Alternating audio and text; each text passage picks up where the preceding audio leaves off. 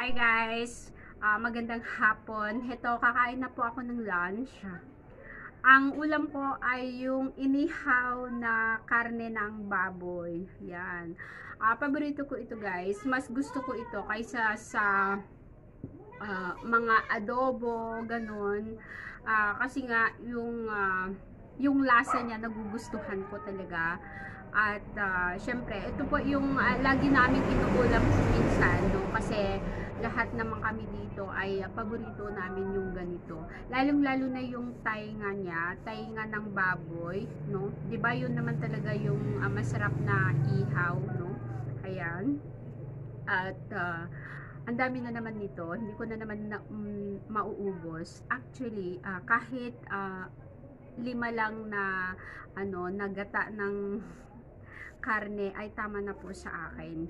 At at napansin ko, hindi ako kagaya noon na magaling kumain. Dito ngayon, nandito ako ay ah, parang ah, hindi naman ako ah, kumakain ng marami kasi hindi naman po ako masyadong napapagod. Hindi kagaya sa ibang bansa na talagang ah, kayod kalabaw talaga ang ah, ang ano ang ginagawa natin doon. At ngayon ay ah, medyo huminto yung mga namimili kasi ah, tanghali na mamaya na naman siguro no?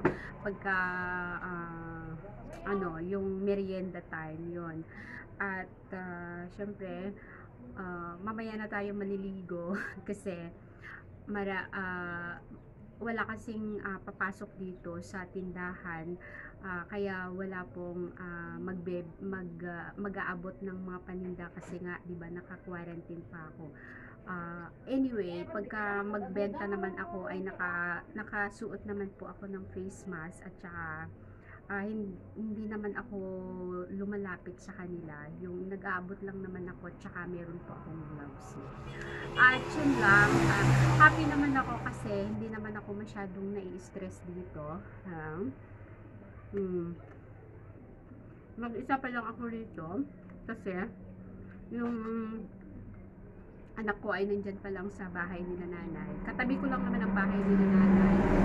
At uh, ito, hmm, enjoy enjoy pa lang muna kasi nga ay wala naman masyadong trabaho. Hindi ko lang naman ako dito sa tindahan. At uh, hindi pa naman ako nagluluto. nakikikain pa lang ako. Yan. Hmm. Ang sarap guys. Hmm. Meron siya kasing kalamansi ito. Tapos meron siyang hiwa ng sibuyas at saka luya. Yung luya ay uh, yun siya yung uh, na-chop ng maliliit. Tapos yung sibuyas is uh, medyo pahaba po ang ang ano ang hiwa niya. Ayan. Mm.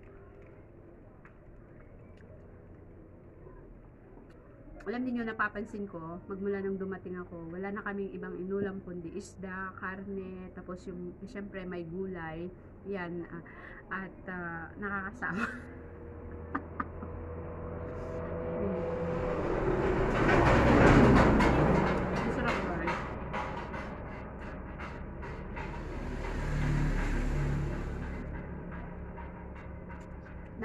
naka-apat na araw na ako to. So, meron pa akong sampung araw bago ko makompleto yung uh, yung home quarantine ko. Ayan.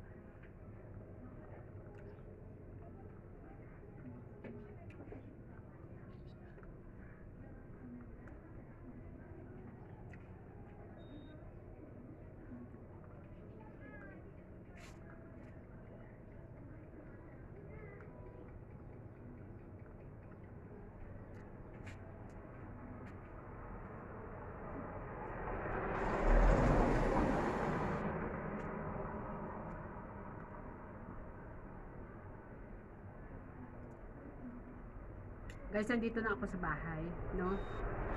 Hindi ko na kailangang mag, mag-make a make-up. Gusto ko yung nakikita ninyo yung natural na mukha ko, no? Hindi na kailangan. Alam mo, ah, kung totoo ka talagang totoo ka sa mga nanonood mo, huwag mo nang pekihin yung ah, pagmumukha mo. Ipakita mo kung ano talaga yung natural na itsura mo, no? Hindi mo na kailangang ah, maglagay-lagay ng mga make-up, tapos mag-aayos-ayos, no? Ganun na lang talaga.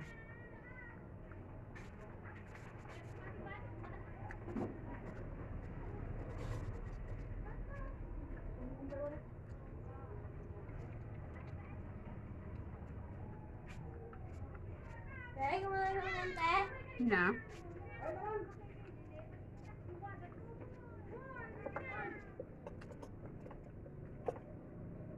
Tay, gusto na. Mm.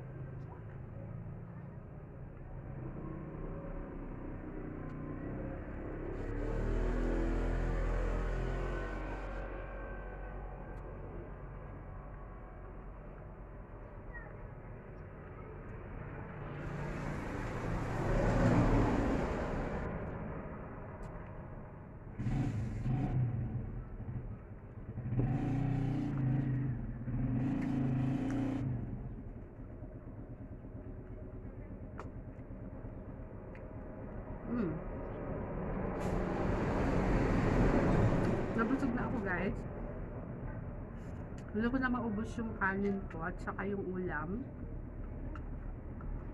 Natakot ako baka tumaba ako. okay. Uh, end na natin ang ating vlog. Kasi gusto kong hugasan yung aking kamay tsaka nauuhaw po ako. So, maraming maraming salamat sa lagi ninyong suporta sa aking channel. At syempre, ah, bukas na naman tayo muli. And thank you, thank you so much po sa. Bye!